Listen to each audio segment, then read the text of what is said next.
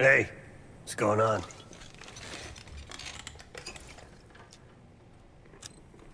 It's strange, man. Even if we clear our names, get out alive, don't think I can go back to the same life.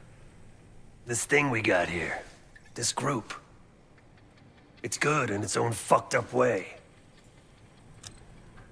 No, but I haven't told anyone this yet. With Mason gone, I want to look after his boy, bring him up. I owe Mason that. And that kid, he's a good one. David. He's gonna amount to something someday. Maybe. I'm willing to give it a try, anyway. He'll need somebody. Yeah, man. Enjoy Kuwait.